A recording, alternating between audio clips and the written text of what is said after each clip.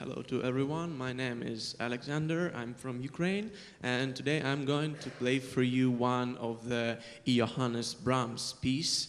This is the second intermezzo from the Opus 118. I hope you will enjoy it. Thank you.